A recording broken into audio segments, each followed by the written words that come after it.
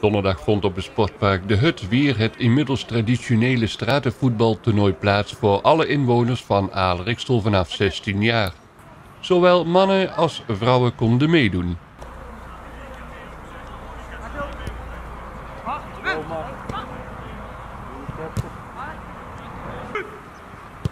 Ja, lekker